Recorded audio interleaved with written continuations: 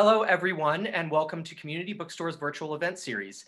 My name is Hal Lavinka, and I'm the event director at the bookstore, and I'm absolutely thrilled today to be collaborating again with our friends at the NYRB uh, Poetry Series for a discussion of Richard Howard's new poetry collection, Richard Howard Loves Henry James and Other American Writers, with Tim Timothy Donnelly, Rosanna Warren, Edward Hirsch, and NYRB Poets editor Edwin Frank. While the pandemic has taken a toll across all of our lives, virtual programs like the one you're about to see have become bright spots in our days. And I want to give a huge thanks to Timothy and Rosanna and Edward and Edwin for joining us this evening.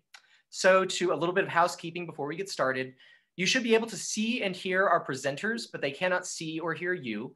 So if you have any questions, please click on the Q&A button here at the bottom of the screen to submit them. We will try to get through as many of those as we can at the end of the program. There's also a chat button right down here where I'll be posting a link to buy tonight's book from our store, which is very important. Please click and buy, uh, as well as links to some other great programming we have coming up with NYRB and NYRB Classics. Uh, a caveat for tonight's event, we're all at the mercy of our home internet connections and server loads, so please bear with any technical issues that might arise. We will try to get through them quickly. Uh, and finally, our event series will continue through the fall and into the winter. So head over to our website to find out what's coming up. Uh, two programs that I do want to point out. Tomorrow at 6 p.m., we're jumping right back into our NYRB series to welcome acclaimed artist Celia Paul live from London to discuss her new memoir, Self Portrait in Conversation with Judith Thurman. And then next Thursday, we're thrilled to welcome Darryl Pinckney to the Zoom stage for a discussion of his critical essay collection, Blackballed, The Black Vote and US Democracy in conversation with Zach Graham. Uh, we're taking registrations for both of those events now, and I'll be posting links to them in the chat. So now a little about our presenters, and we will get started. Timothy Donnelly is the author of three books of poems, most recently The Problem of the Many, which received the inaugural Big Other Book Award for Poetry, and the Cloud Corporation, winner of the 2012 Kingsley Tufts Poetry Award. A Guggenheim Fellow, he teaches in the writing program of Columbia University School of the Arts. Rosanna Warren is a poet, essayist, translator, and biographer. Her most recent book of poetry is So Forth, and she's the Hannah Holborn Gray Distinguished Service Professor in the Committee on Social Thought at the University of Chicago. Edward Hirsch is a poet, critic, and president of the John Simon Guggenheim Memorial Fund. He is the author of 10 poetry collections, including Wild Gratitude and most recently Stranger by Night, as well as five prose books about poetry, including How to Read a Poem and Fall in Love with Poetry, which is dedicated to Richard Howard, adept of the world of reading. And finally, Edwin Frank is the founder and editor of the NYRB Poets series and the author of a book of poems, Snake Train. So Timothy, Rosanna, Edward, and Edwin, the stage is yours. Thank you. Thank you, Hal. Thank you, uh, Timothy, Edward, and Rosanna for being here. Thank, thank you all for being out there. Um, and thanks to Community Books for uh, hosting the series of readings that we've now been doing both for NYRB Classics and NYRB Poets since, since the spring and will continue to be doing. Um, so tonight we're here to talk about and read from. Um, it's not precisely accurate to say that it's called Richard Howard. Rich, R.H. Richard Howard loves Henry James. Another, it's R.H. hearts uh, H.J. So it's got a kind of Kilroy was here quality um, to it. I think Kilroy was here comes up somewhere in it too. And um, this book, um, well, Richard and I started talking about it uh, probably close to five years ago, the idea, he sort of floated the idea of whether he, he wondered whether the various poems he'd written um, in and, in and around Henry James, there's surprisingly, there's only one, I think, in this book finally that is actually in the voice of Henry James, um, uh, would, would make, make up a full book. And, uh, and if they did, would I be interested in, in publishing it? And I thought um, that sounded like a really, that sounded like a wonderful way of, of sort of distilling uh, some of Richard's interests in his poetry and also as a critic. Um, and we talked about it, but not much happened. And then a few years ago, I think David um, Alexander, Richard's partner, uh, put together the poems, and it wasn't, it wasn't, they weren't, they weren't quite enough to make up a book. So, um, what to do? Because the idea still of that being a book seemed still an interesting one. Um, we then thought, well, let's add Walt Whitman, in a way, sort of Henry James's opposite, though um, James, having written a corrosive review of, of, of Whitman's um, drum taps when James was still a young man, uh, later came to love Whitman very much. And, and um, I think there is a lot more in common between those uh, two writers than is commonly acknowledged or widely acknowledged even to this day. And I think part of uh, Richard's wisdom and inspiration is to see that. So we added Walt Whitman, and then we added, um, for good measure, we started looking at the other uh, poets, American poets that that uh, that Richard has uh, written, uh, has evoked in various ways, um, and uh, that included a, a, sequence about Wallace Stevens, and uh, and then a poem to Hart Crane, and we had a book. a book which goes back to not to the beginning of Richard's um, very long career, but back to the 70s and up to the last decade, a book that includes not only Henry James and Walt Whitman, but Hugh Walpole and Edith Wharton and L. Frank Baum and characters in Henry James and complete improbabilities. And rereading it um, for this occasion, I, I could say it's it is one of the most and I'm the publisher, so I would say this, but I really mean it uh, one of the most enjoyable public books of poetry that one could imagine reading, one of the most diverting books of poetry one could imagine reading, and that it reads wonderfully not only in not only in the variety of its individual poems, but also it it pleased me very much to realize as a book in the sense that the question came up of how to organize the book. And you know, we could have organized it in terms of we could have pigeonholed the poets. So here's the Henry James section, here's the Walt, Whitman section, uh, we could have um, we could have done it chronologically by when Richard wrote the poems, but we did it almost um, uh, without a great deal of thought. Uh, put it together chronologically by when the poems are said to take place. And what happens that way is that you you you go through James at the beginning and then um, some Whitman poems, but at the end, the final poem, the poem to Hart Crane, is written in the 70s in Richard's proper voice, so that you actually see at the end Richard emerge. From the mix of poets uh, that have have nurtured him and to whom uh, whose whose legacy he is he is is he is now well he is part of that legacy for all of us. Anyway, um, the book also contains a wonderful introduction by Timothy. And uh, I thought I would turn um, first of all to, to Timothy to, uh, to read a poem or so we can get a sense of it and then we can start a discussion uh, and, and both Rosanna and, and Ed, Ed will also read uh, from the book too.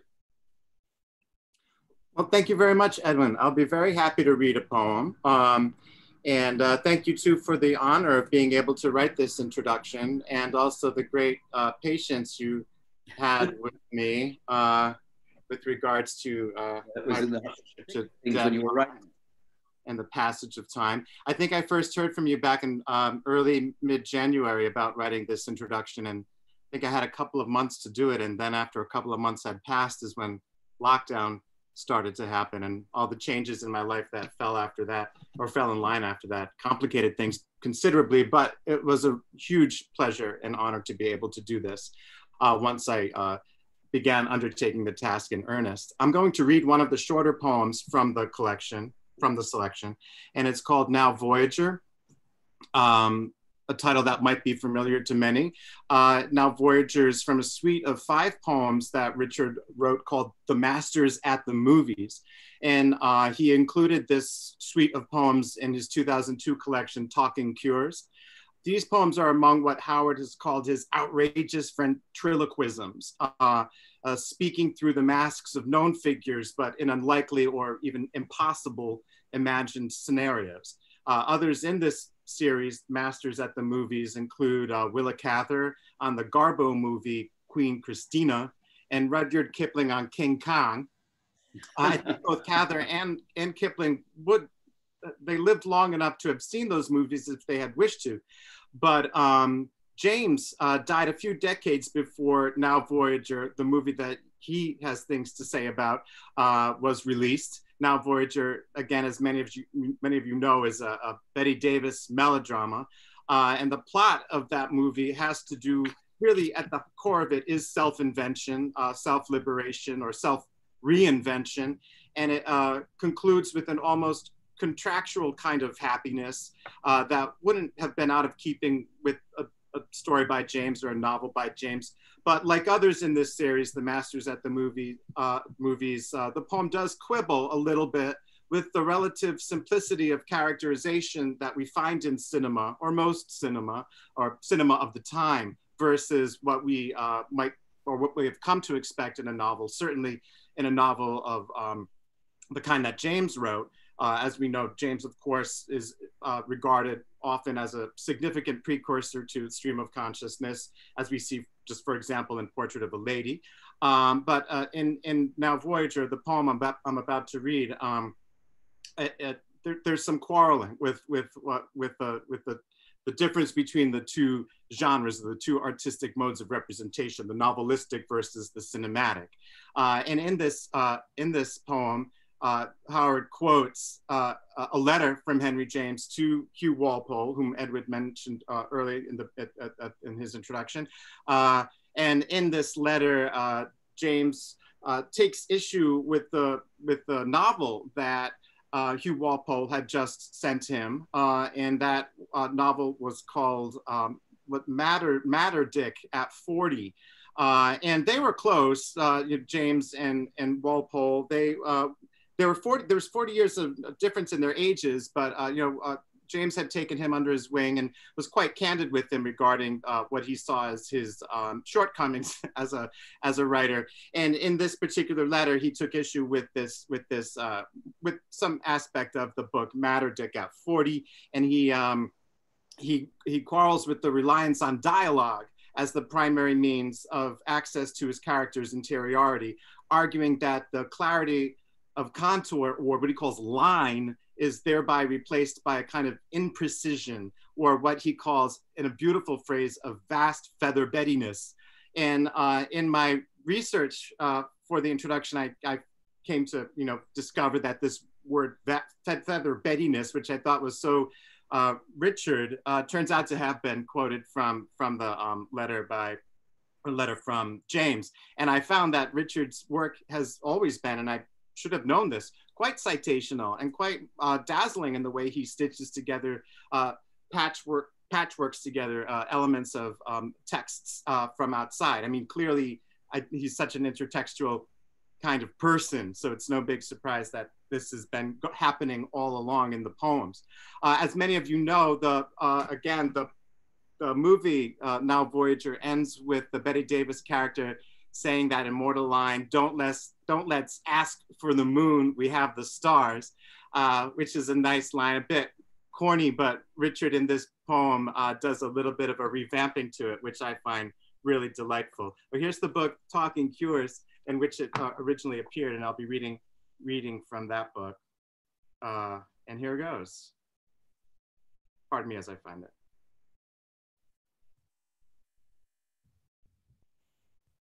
Now Voyager.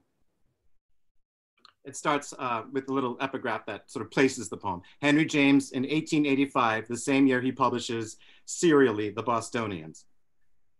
Poor old Boston, better still, or worse, poor Back Bay, inevitably synonymous with every cramp and curb and suffocating check the flesh is heir to. Heiress in this instance, Charlotte Vale, indentured to a Gorgon Ma, and doomed to be undone by lonely lovelessness. Happily, here, the Gorgon turns to stone, her ugly duckling being metamorphosed, medical magic and the mystic manipulations of modiste and parlor maid to a wandering wanton of the Caribbean, returning as a swan and odorous with erotic reminiscence to take up charitable works in cheerless Boston, for which she has no likely capacity.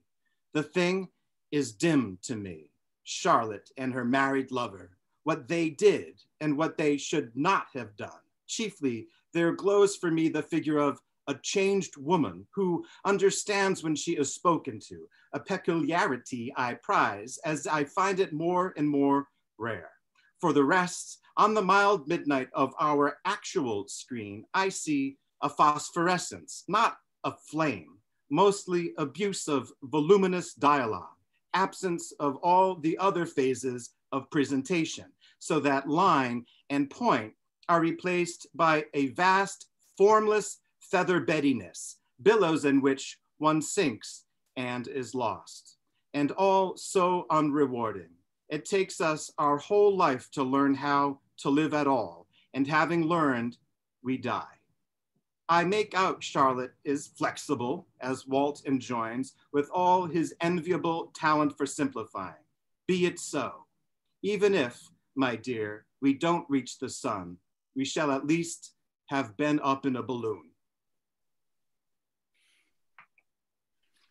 And I just want to say too, I think that those of us who know Richard uh, well, probably here in that line, it takes us our whole life to learn how to live at all. And having learned, we die. Something so distinctively Richard. I mean, that's an aphoristic note that he hits, you know, throughout his work. And I love it so much. It's so rare these days, and he's such a master of it.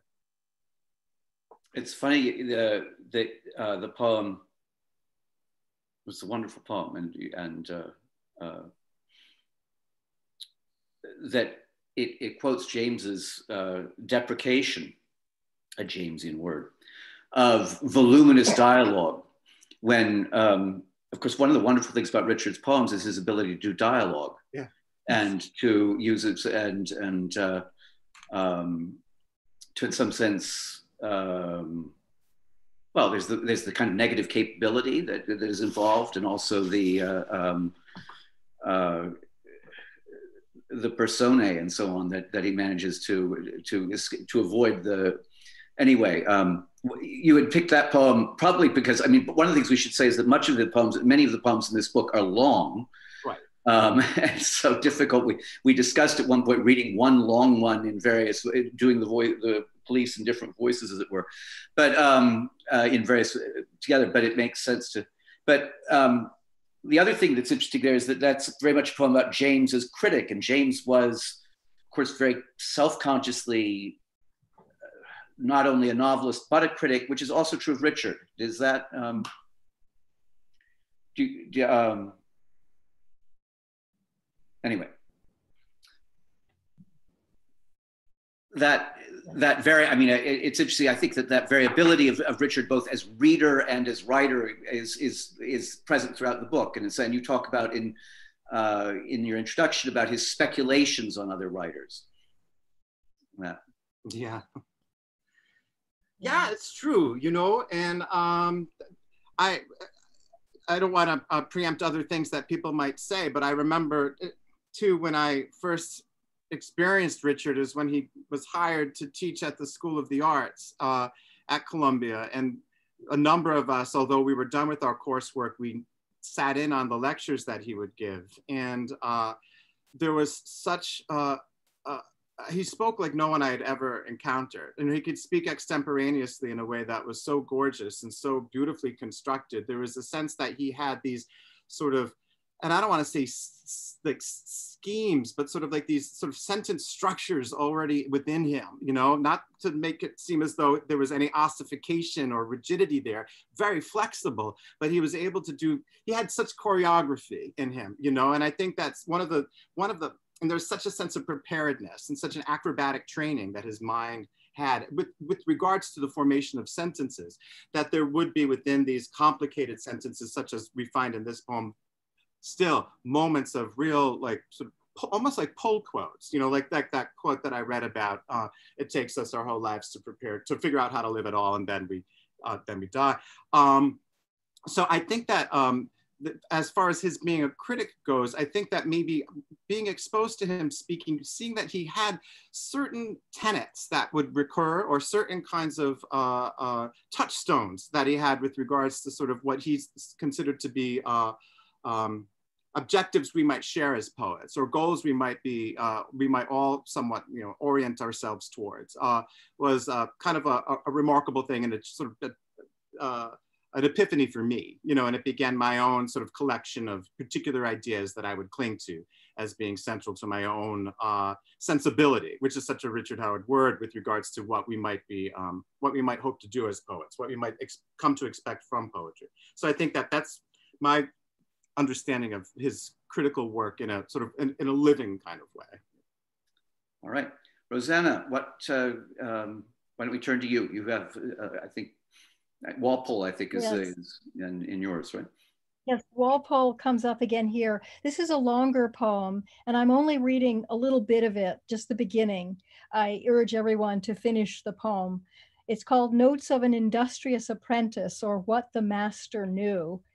And it involves uh, uh, Walpole confessing to his diary his experience with Edith Wharton, confessing her disappointment, uh, Richard's word for her, at not having been able to snag a Nobel Prize for Henry James.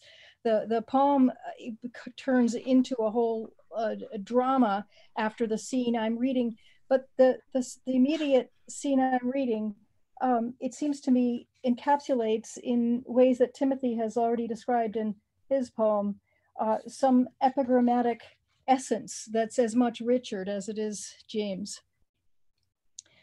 Notes of an Industrious Apprentice, or What the Master Knew, from the London Diary of Hugh Walpole, April 1911, Thursday evening. My first impression, the poor aftermath of a bewildering minute, was that our hostess, I had never been her guest before this afternoon, was overdressed for the occasion, by the time I left, I realized it was the rest of us who had failed to dress appropriately. I've called you here in order to confess our utter failure. How unfortunate, yet unavoidable, that I must be obliged to bring this sorry news to valued friends who have so long and loyally sustained my little scheme to secure for Mr. James the proper honor of a Nobel Prize. These words were spoken not an hour ago, so all the valued friends might realize how disappointed Mrs. Wharton was by our utter failure to consummate her little scheme, as she was pleased to call the tangled web of testimonials ranging from Sir Edmund Gosse, who else so likely to switch on the northern lights, to dull Dean Howells, the one safe American luminary most of us Mrs. Wharton summed up her countrymen, so unrestrained, so dubious, so odd. And from her quite nonplussed ambassador in Stockholm to our man in Downing Street, perhaps not her man at all, considering the tact needful to pocket a Prix Nobel. If most MPs tell their wives secrets of state, Asquith tells them to other people's wives. Yet even here, Mrs. Wharton had devised an antidote to any subterfuge that might be taken as louche or untoward. Such a cunning letter Paul Bourget wrote for us to the committee it gave those people who knows who they are. Swedes, of course, but how do such Swedes read? Precisely the right pan-European touch to win the only homage worthy of the only master, our own Henry James. Yet now she stood before us, gravely gowned, announcing to our mutual dismay that all these infallible tools had utterly failed. And all we could do, apparently, was drink a little more of her very good champagne, as she described in tortuous detail the shameful rationale of our defeat.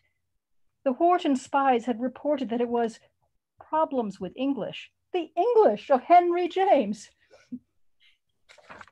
which led the Swedes to groom a candidate whose artless French enjoys a flashy vogue, our hostess warming to her poignant theme, in theaters from Paris to Petersburg and all points west a so-called Symboliste, whose Oiseau Bleu, sufficiently inane for a Christmas panto, opens this very week in the West End.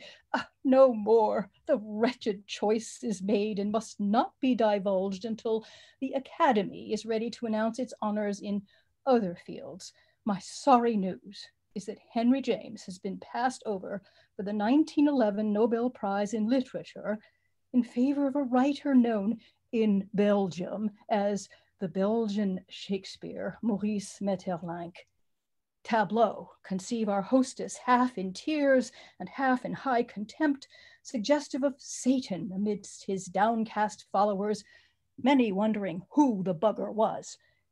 I knew, of course. Why didn't she? About the master's fond allusion to Maeterlinck?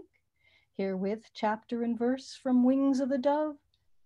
Such the twilight that gathers about them now, like some dim scene in a Maeterlinck play. We have the image in the delicate dusk of personages coalesced yet so opposed.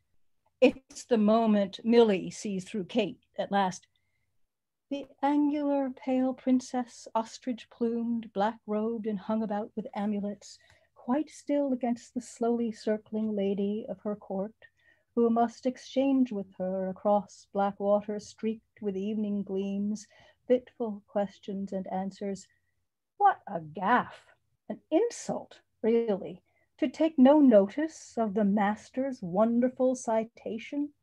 How could a serious devotee have missed? Oh, not the point. She never misses points, angles, anything acute, but a mirage of life with all the blur of being on it.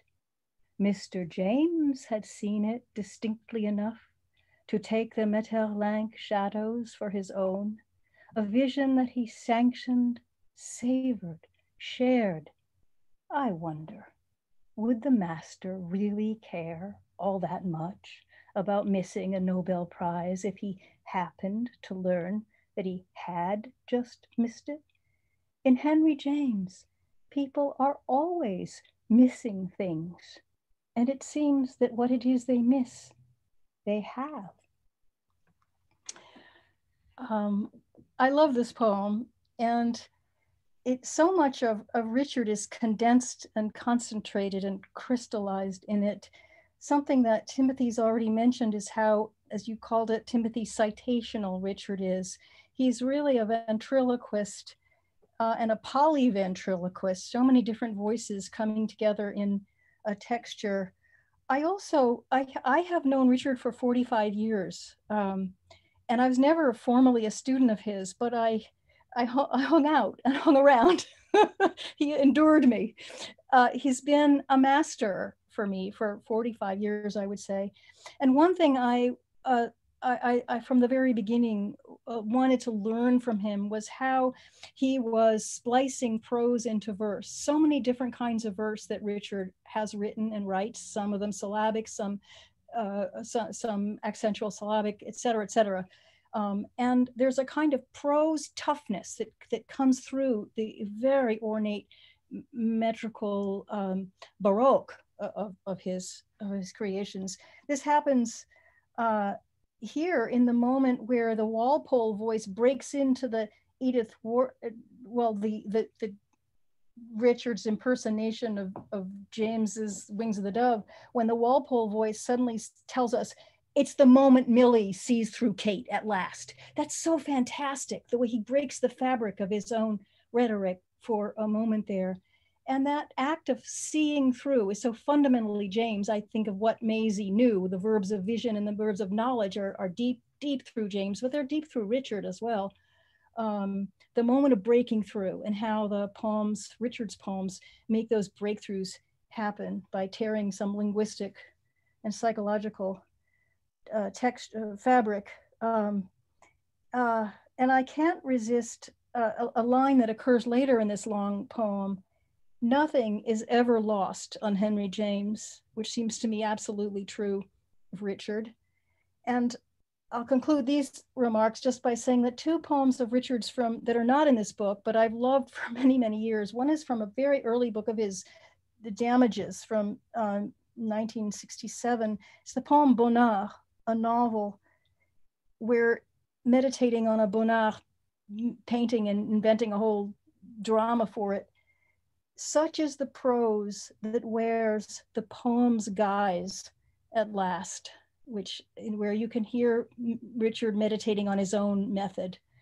Um, and in another poem from the book Misgivings that I've also loved for many years, and it seems to me to also to be a, a real ars poetica for Richard himself, It's the poem Thebais about a painting by Starnina, a late medieval painting. Look, a man may vanish as God vanished by filling all things with created life. And I, I feel that about this, this book, uh, Edwin, that you've edited and that you've introduced Timothy, that it is somehow feeling all, all things with created life.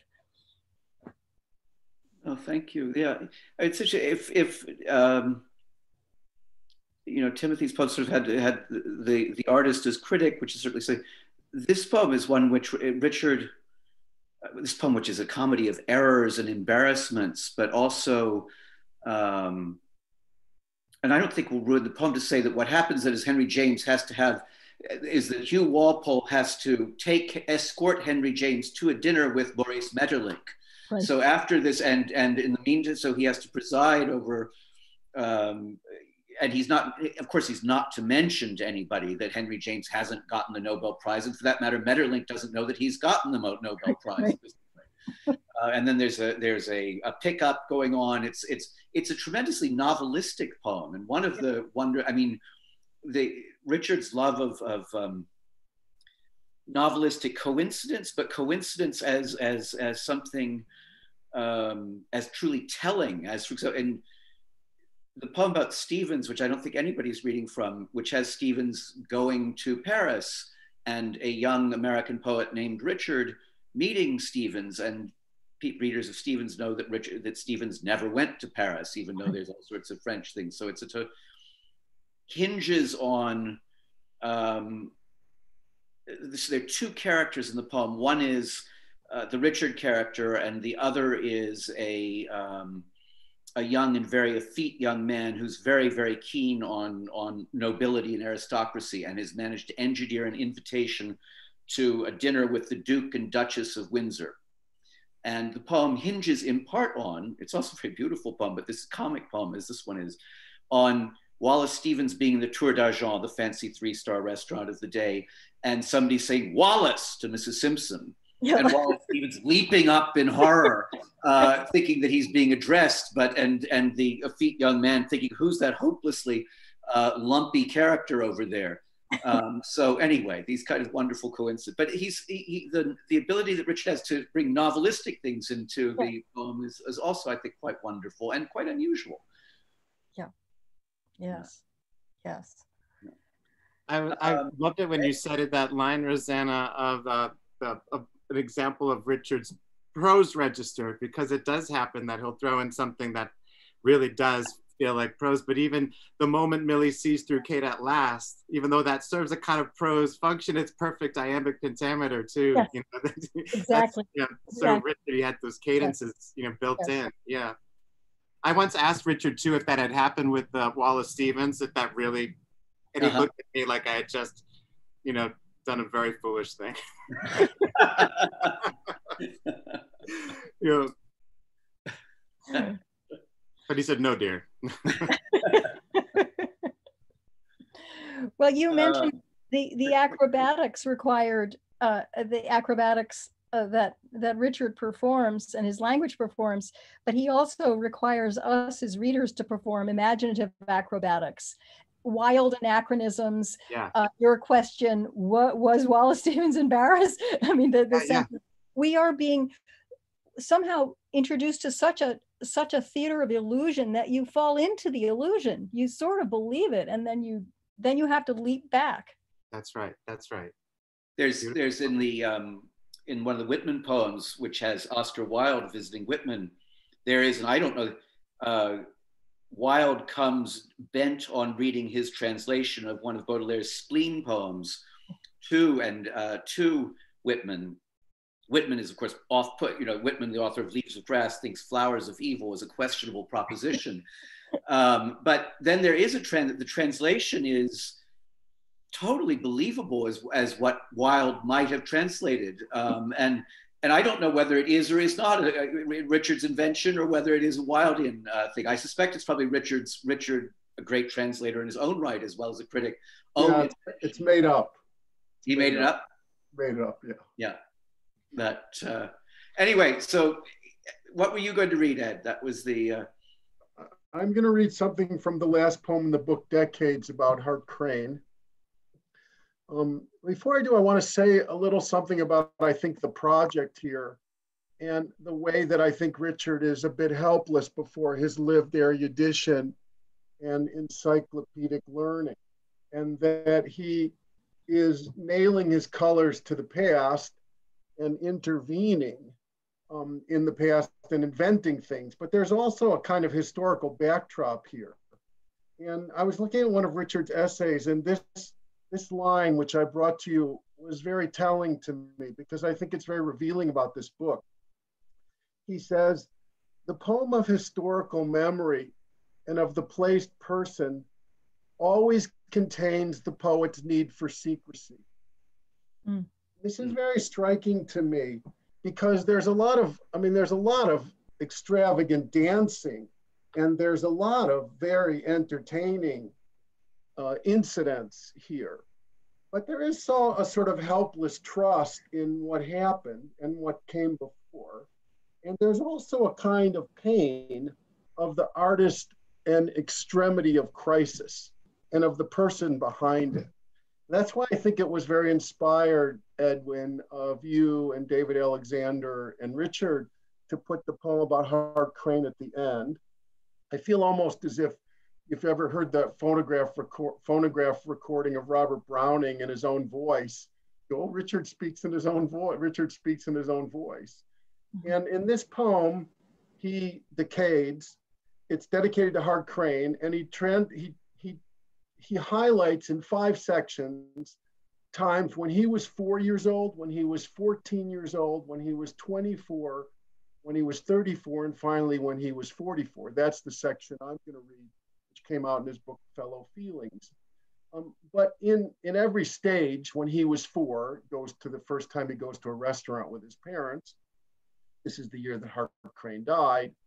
You feel the sense of the opposition of the father on the other side. The time that he goes at 14, he goes to Laukhuff's bookstore, and that's where the German owner shows him the the book. He finds the book, The Bridge, and is he says, "Will I understand it?" And the bookstore owner says, "Oh no, you won't understand it, but your brother, your mother will buy you another book anyway later. So go ahead and get it." Um, the third section is the one I want to mention and read something from before I read the final thing. The fourth section is he goes to a gay bar under Brooklyn Bridge and thinks about Hart Crane. Um, Richard sometimes can't help his jokes, so he and he and Hart Crane both come from Cleveland. He calls them is their mother in lieu. but the moment I want to point to here is a moment where Richard does not name the person that he's talking about, but it's Allen Tate. And he's at a, at a restaurant in Paris with Allen Tate. And you know that it's Allen Tate because the person was friends with Hart Crane and wrote a novel called Fathers, which is alluded to here. And um, there's something here that I, I want to highlight about what it means to be an extremely extravagant, unbelievably smart gay kid from Cleveland, Ohio, and a middle class suburb. And here he's in now in Montparnasse, and he's 24, and he meets Allen Tate, who he admires. And he's thinking about Hart Crane and Allen Tate in the 20s. Then he goes, Gay it is, though, and so am I to his disparagement expressed, dear heart, in terms of our decadence as the flaming creatures pass. Such men, he says, fare best, as we Southerners say of foxes, when most opposed, none so spirited by their own, and yet I see how proud these sick cubs grow. There is a silence, colder than the zinc between us hopeless. I have lost heart, as I always do when I rejoin the fathers, lost the pride of my proclivity. And the penalty and disgrace of losing is to become part of your enemy. Have I lost you, heart? I need you here, quarrelsome, drunk on your permanent shore leave from the opposite sex, opposing shore, the loss the losses, the gain. Now, this is tremendously poignant to me because I think this is what's behind all of this. He calls on Hart Crane because he needs Hart Crane, because he needs the model of Hart Crane to help him get through and navigate the experience of being 24 in Paris, being faced with one of the disapproving fathers. And I think that all of these poems have a secret behind them or secrecy. And the secret is that there's something desperate in this. There's something needed. That's why I'm calling it helpless. That Richard calls upon that give this kind of what looks like an intellectual pursuit and is also a kind of emotional urgency. And I think you can see it here in this section called Garrettsville, which is the last section. And um, now Richard is visit. Hart Crane was actually born 35 miles away from Cleveland in Garrettsville and was raised in in um, in Cleveland. And Richard is going to Hart Crane's house where he was born, um, and his somewhat miserable childhood, and uh, and and thinking about it. And he refers to each of the experiences he had in the restaurant and in the bookstore and in the Paris place, etc. Garrettsville. By 44, I know your beginning, lost at land, your end at sea. Sometimes beginnings can be more desperate than ends, patrimony more than matrimony, and middle age the worst despair of all. I do not find you here, or in the bars, or Laukhuffs, or that yellow restaurant. Not even on the beach you walked with Walt, hand in hand, you told him never to let go.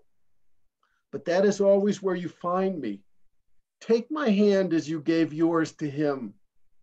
We suffer from the same fabled disease, and only the hope of dying of it keeps a man alive. Keeps. I press your poems as if they were wild flowers for a sidelong grammar of paternity. We join the fathers after all, heart. Rejoin not to repel or repeal, or destroy, but to fuse, as Walt declared it. Wisdom of the shores, easy to conceive of, hard to come by, to choose our fathers and to make our history. What takes us has us. That is what I know. We lose being born, all we lose by dying. All.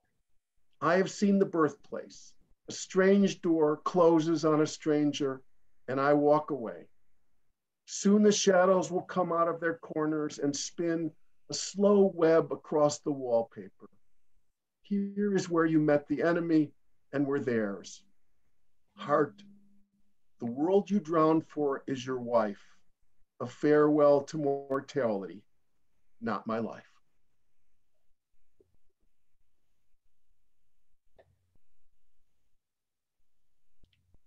Yeah. I think you're right, Eddie, about the urgency, the poignancy, the pain, and the secrecy.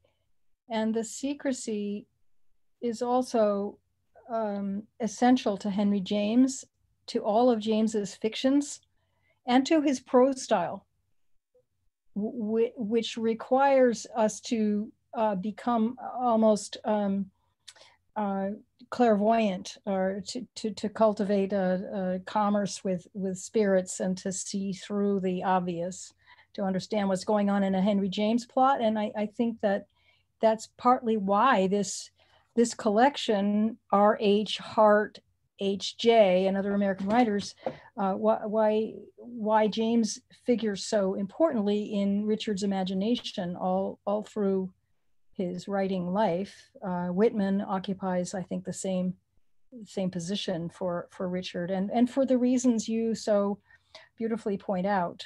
Um, secrecy and revelation going hand in hand, and then what kind of poetics do they do they engender in in prose and poetry? Imagine being a young Richard Howard and making yourself up, and realizing there was someone named Henry James. Yeah and and what that would have meant if you found out that there was someone named J- Henry James who thought like that and wrote in that way uh, and, and, and was such a sort of um, writer of consciousness and extraordinary deferrals, as you're referring to. And so I think this is part of the calling on, calling on James. Yeah. And then I think the Whitman part is the is the most operatic Whitman, Mm-hmm. the Whitman that loved opera, that that that really the Whitman not of plain speech, but of the but of the litany of the of the King James Bible. But also Whitman the lover, the Whitman the the lover, uh, but also the the the masked lover, the the lo- the the the lover in very complicated and inexplicit ways. And that's the Whitman that Richard's hard. again- That's the, Whitman, I mean, as in that last poem, I mean, again, it was an accident of the way we put it together, which seemed right, but which was a, that we begin with a poem called Life Class. We end with the questions of life and death. I mean, these poems are elaborate and, and ingenious, and, and but questions of life and death are present throughout. And in a curious way, I think it's Whitman who is the arbiter of them in a way, the, the, um, the Charon almost in a way, or both of them. Um, it's you know that it, Whitman comes up in the Hart Crane, of course, an allusion to a Hart Crane poem, but but again and again uh, in these different poems, Whitman, James will say as Whitman says, and so on. Yeah. It's it's um, he's less present as a character, but he he is somehow well. Uh, But as an American poet, you have to make yourself up. mhm. and um, and you have to sort of make up a tradition for yourself. And I think that um, that's what Richard is doing here. He he's inventing a legacy for himself.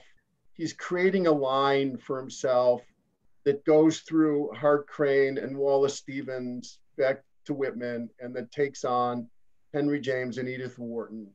And he's he's making up a tradition for himself to live in. He's placing himself within a in, a- in a way that makes it imaginable to be this sort of person in i mean look we live in one of the most anti-intellectual countries in the world and we're talking about one of the most extraordinary intellectuals that any of us have ever met Mhm. so how do you how do you manage to be like that um, to care about books in the way that richard howard cares about books Um, I want to say that he cares intensely, passionately about books, but also about life. Because I think a danger in reading Richard would be to think it's only literary. yeah, And it is very literary and artistic and aesthetic. But at the core is something about bloodletting, something savage, as I think is going on in James too. And in not so much, I don't think Whitman is savage in that way. Uh, Crane is, in his own way, has that sacrificial intensity. you and I agree about this. I, I think that Richard is a little misunderstood this way. It, it's easy it's easy to misunderstand because the literary allusions are so tremendous and they're they're so pleasurable, but you can get lost in them. And many people who've imitated Richard imitate the sort of gestures of dramatic monologues of people from the past. But I think what we're feeling is the urgency behind it. And that the thing that's at stake has to do with lived experience in thinking through lived experience. So when Richard puts Wallace Stevens in Paris, it's a kind of joke because Wallace Stevens never got to know, never got to go to Paris. But it's also an imagination about what happens when the provincial American romantic finally gets to be bedazzled by the city of light and, and what and, and, and what that means. And so Richard Howard, through his own lens, is, is you know re-experiencing what it meant for him to go um, and, and find that find that other world. So I, I think that the focus on the lived experience and the life lessons is really helpful in this in this book to see a kind of arc through through Richard's work. Well, and the Stevens poem is a poem about revelation, but also deep loneliness, the loneliness of the artist. And, and the book is also a reflection on, as you say, what is the role of an American artist, which is homesickness and trying to escape, but also trying to, I mean, uh, it comes up again and again. I mean, he's, this is reckoning with, That's With- what I th- I think you're on to it. I think that's what this book is about. I, I think that you know Richard to, you know named his extraordinary book of essays about American poetry "Alone with America," And, and I think that at the core of all these poems, as entertaining as they are, there's a kind of loneliness in them. And I think that loneliness is the secret that's driving these, you know, intense imaginative fictions. And I think the way you've structured the book um, highlights that. Well, I think we can turn, we probably have some questions. I think we do. And so we can turn to uh, Hal again uh, and summon him up. Um, I'm back and we do have great questions. Uh, I'm just going to start at the top. Richard's lines have such beautiful pacing and rhythm, and especially pronounced senses of stress, as your readings have all shown.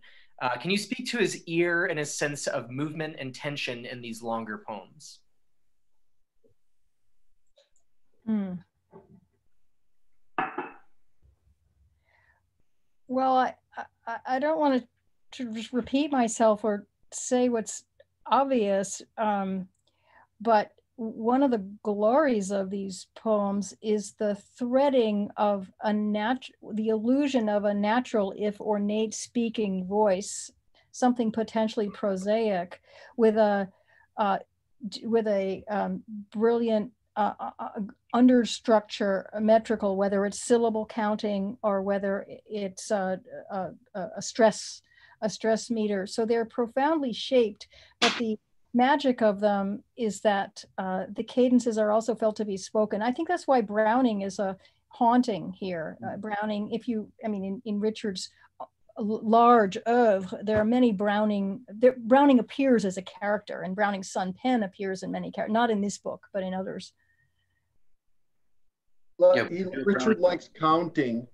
And I think that what you probably hear is some kind of counterpoint between the sometimes syllabic meters and the elaborate speech. And that's the, the, the, the difference between, say, a Jamesian story um, or a story by James and a poem by Richard Howard is the, is the, is, is the, met, is the metrical rhythm. And that James has the consciousness of sentences and paragraphs. And for Richard, that's lineation and, and stanzas. So I think there's a kind of the, the balance of the syntax and the phrasing and the movement across the, the pressure of the line and the stanza, I would say. Um, what is Richard's relationship with academia and academics? His work walks so very close to critical and biographical writing, yet also seems to poke fun at the same, uh, that it can be very hard to tell.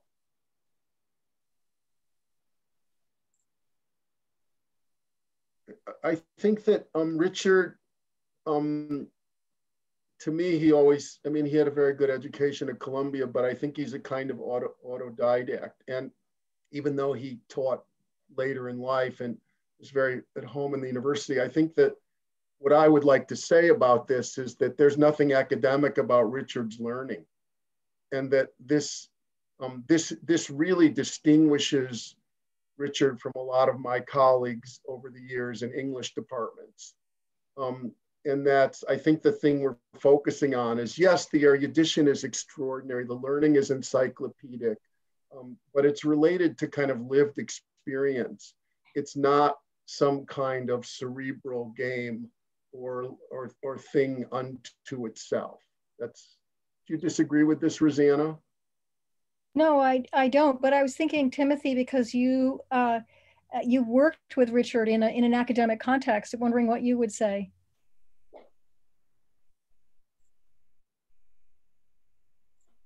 Oh, You're- sorry, I can't hear you. Oh, you're muted, Timothy. Yes, sorry, I didn't. I forgot I muted. I've got a lot of noise outside the window.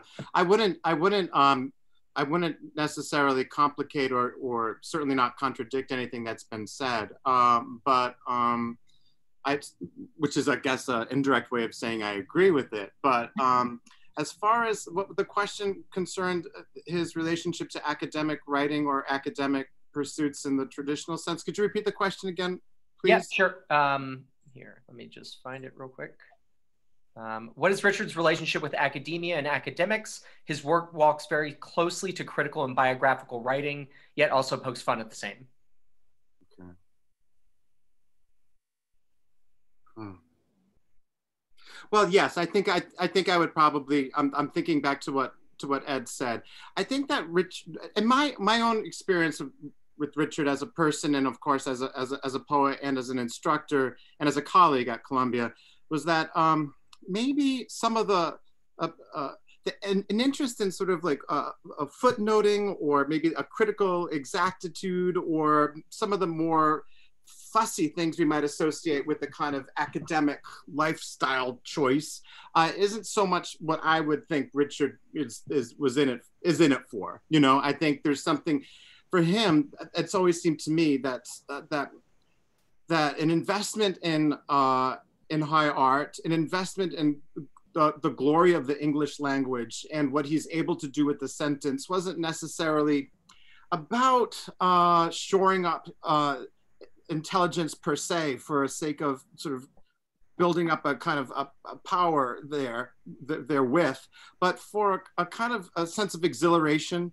a sense of pleasure, a sense of uh, elevation. I think that um, I think that his his use of just again i'll go back to this this the, the choreography of his sentences which was so magnetic to me and to so many of the people who would sit in his classrooms rapt listening to him you know put these sentences together not just to dazzle us and to make us feel awe but i don't know how exactly but almost as if to say you too can do this you too can sort of like bask in in, in the glory of the english language of the the poetic tradition of um, the English tradition and the French tradition. You can sort of do the magic alchemical thing of translation. You can, you know, use poetic form to to uh, to transform the base materials of of banal everyday existence into something that has a, a, greater claim on our, our attention or something that might find ways to elevate our own sense of being in the world, our own satisfaction with life. You know, when, when you were saying, Rosanna, that he was full of life and really sort of like life forward, life directed. I'd say that that's always been my experience with Richard, and that like for all of the um for all of the all of the the references that people might miss, or for all of the so uh, um the, the celebration of, of art that maybe remains remote for people. I've always felt that for Richard, there was oh, there was the sense that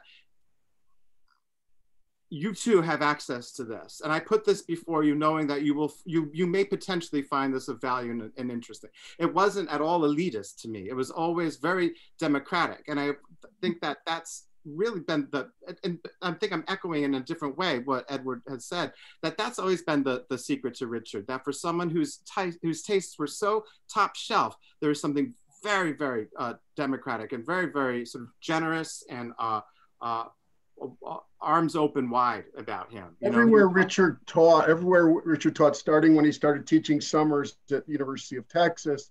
I taught with him for 15 years at the University of Houston. All the years he was at Columbia, he visited Cincinnati. The first thing he did was begin to give lectures for all the department. And the English department would come together, and Richard would give these sort of offhanded lectures to kind of bring everyone together, and and in, in the in a shared pursuit of, of literary ends. And I thought he was always sort of weirdly, had a weird way of bringing people together in, into a kind of community around the shared pursuit of reading literature and the urgency of it. I, would like to say too that the, the writing is an absolutely personal writing. It's in no way a fussy or specialized writing. It's absolutely personal writing, which is why I think he's also a great teacher. That uh, we did have a couple of questions um, about Richard's translations. Um, one that I do want to pick on: Can we find relationships in these poems to any of his his translations? Any or to all? they are all, in some sense, a kind of translation. I think James it was said that all kind all writing is translation of one sort or another. So I think that in, in the introduction, Timothy points to the connection to Richard's translations of Cioran, yeah. which is very, I think, very close to home. There's the ludic element in the translations of Roland Barthes. I mean, where to start? I mean, mm-hmm. I think it's all part of the same. It's it's not. It's all part of the same project. Yeah. I think I think of it as an anti-romantic project and that it, richard and his generation if you think of what it is to be an american poet writing in the 50s, 60s, 70s. Uh, he's not at all a beat. He's not a quote confessional. He's making a marking out a path for himself, which is entirely distinct. And it has to do, in a sense, with uh, yes, invention of a self or plural selves th through through a complex language. Some of it tr translated from other languages, some of it translated from experiences. Um, but uh, the the um, but but there's a, a, a sense of uh, that he's gone his own way quite extraordinarily if you look at the poets who were writing and publishing um, around him. Uh, and I think translation has to do with that. It's as if he made English almost a foreign language in order to feel it more deeply. And selfhood uh, is foreignness and needs to be refelt, rediscovered uh, in, in, in, in a constantly reinvented language. Um, uh, maybe that's one of the reasons I, I love the, the Starnina poem, the Thébais so much. Look, a man may vanish as God vanished by filling all things with created life a lot of poets don't want to vanish, but but in a sense, Richard finds himself by vanishing, um, and and I think that's about translation too, taking on other voices or inventing them. Um, I think we have time for one more question, so we'll end with: um, Can each of you talk about your first experience reading a Richard Howard poem?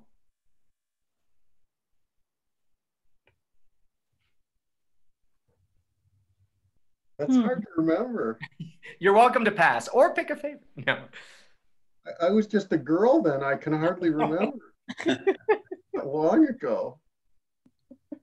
Actually, the first thing I read of Richards was as a teenager was Alone with America. It was not his poetry, but the the big compendium where he he uh, wrote about all his contemporary contemporaries and older poets and and for me, it was um, a, a, kind of Baedeker to the world of poetry, mm-hmm. uh, which um, uh, sometimes I disagreed with, sometimes, and and but of course it was also because Richard's criticism is imbued with his voice as anything else. It was also a, an exposure to uh, Richard's poetry in in in a way because in fact that poetry I think as we've tried to say uh, expands between both his criticism and his poetry and his and uh, and his translations. They are all part of a of a of a of a single project of a multiple man. Yeah, yeah. Um, I, I don't know if it was the first, but very early on, I I um, I mentioned the poem Bonnard, uh, a novel, uh, because I was trying to be a painter in those years. I uh, I, I was became passionately involved in that poem uh, and in the vision of Bonnard and the vision of life that that Richard dramatized in it. And the, the series of poems he wrote about the photographs of Nadar uh, I think that's it. Those are in Misgivings, uh, portraits of Victor Hugo and Sarah Bernhardt and Baudelaire and, and so forth. So another aspect of Richard is he translates visual art as he later translated, say, the sculptures of Dorothea Tanning. That's another kind of translation, turning, giving voice to visual art. I mean, extended ekphrases.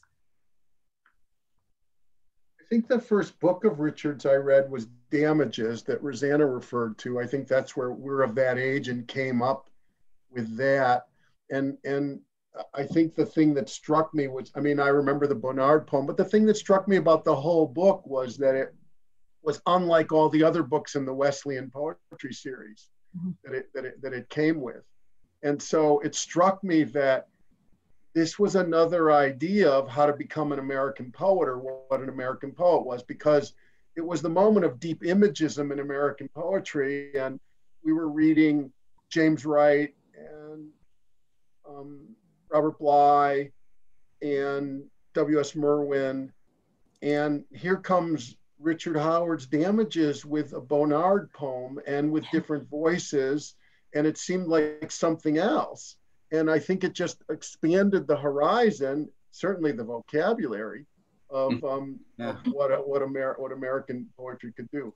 I'll just say, tell you something funny about that. Once Richard was writing a blurb for for someone and I happened to be around and he had just written, he's the best monosyllabic poet we've got going.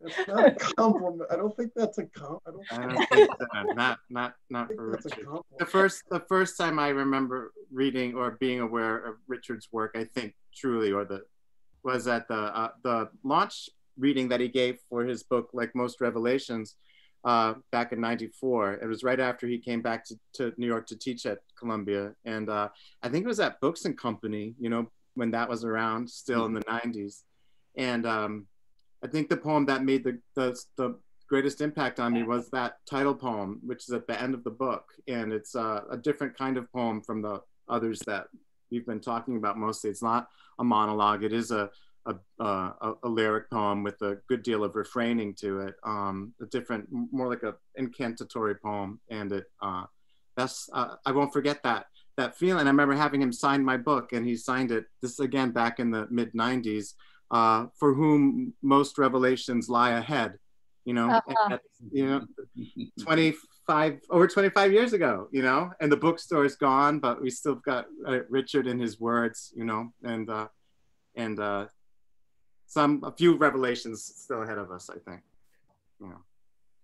Well, that's a beautiful way to end it. Um, thank you guys so much for your time, Edward, Edwin, Rosanna, Timothy. This was really, really fabulous. Um, for all of you who are Richard Howard readers, we hope that that was some balm for the last week of stress. Uh, if you're not a Richard Howard reader, um, I'm sure you are now a Richard Howard reader. Uh, and otherwise, we want to thank NYRB Classics for joining us, you know, tonight to put on this program. Um, as mentioned, we have a lot more programming with them coming up uh, this November. So please check out our website to find out more. Um, and otherwise, I just want to wish everyone well, be safe, be healthy, um, and keep reading Richard Howard. Thank you. Thank you. Uh, Thank Thanks, you. everybody. Good night. Bye-bye. Thank you. thank you